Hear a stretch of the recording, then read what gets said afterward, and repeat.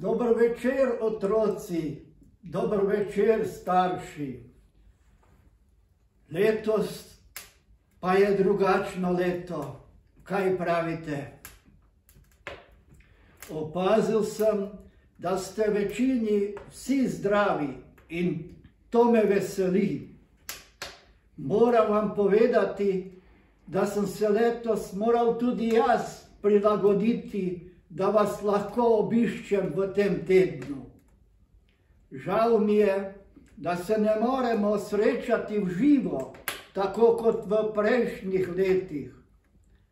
Zato sem se pa odločil, da mi angelčki pomagajo in skupaj posnamemo en video posnetek in se vam javim. Vem, da mi bo to uspelo saj imamo krok sebe veliko angelčkov, ki so letos posebno pridni in mi radi pomagajo. Župni Gregor mi je predal vaša pisma, ki ste mi jih napisali. Toliko pisem, da sem jih prebiral kar veliko časa. Pa tako pridni ste bili. No, nekateri bolj, drugi pa malo manj. Ampak pomembno je, da se trudite biti dobri. Vesel sem, ko vidim, da delate dobro in razveselite svoje bližnje. Ko obiščete stare starše ali sosede, ko v šoli pomagate sošolcu, mamici pomagate pospraviti mizo ali očetu pri košnje trave ali pa pri zlaganju drv. Upam, da ste letos še toliko bolj začutili, kako potrebna je pomoč bližnjim. Veste, česa sem pa še najbolj vesel?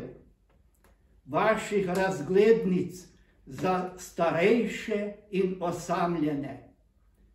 Kako ste se potrudili in nekateri se ste izdelali kar več razglednic.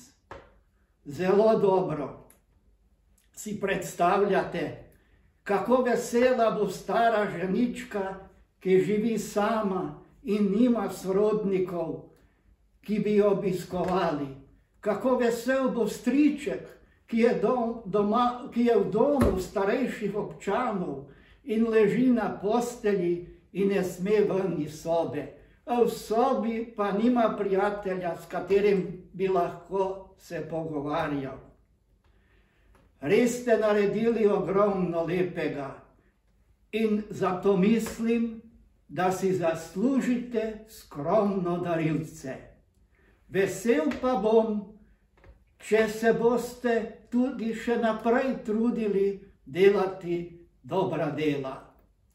Sedaj pa hitro lezite k počitku, da hitreje pride čas, ko vas po noči obiščem.